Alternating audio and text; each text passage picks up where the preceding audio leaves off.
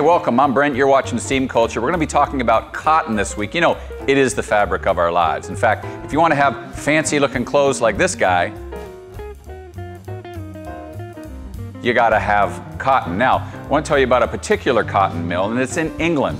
And it is the last, or it was the last, operating steam cotton mill in the world. It's the Queen Street Cotton Mill, and it's in England, and it last operated in 1982 significant because it was the last steam powered cotton mill operating in the world. Now, it was reopened by some folks that said, you know what, this is significant. We want the public to see it, which is very cool. So it reopened somewhere in the 1990s.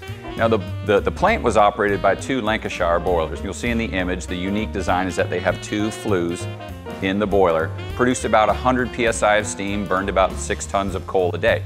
Now, that steam was going to a double acting compound steam engine. What that means is that they're using the steam twice.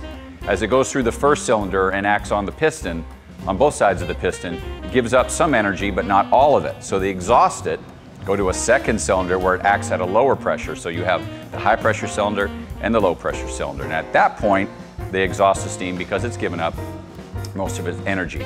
Now that, that engine was used to turn 308 looms. And you can see here in the video, it's quite the process, pretty impressive to see. If you're ever over in England, go see the Queen Street Cotton Mill. Or you could just Google it like I did. But before you do that, Google us because we have great content for you each and every week. I'm gonna go right now and work on something for you for next week.